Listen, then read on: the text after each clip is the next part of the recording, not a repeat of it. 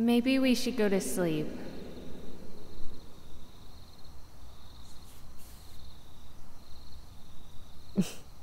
You're right.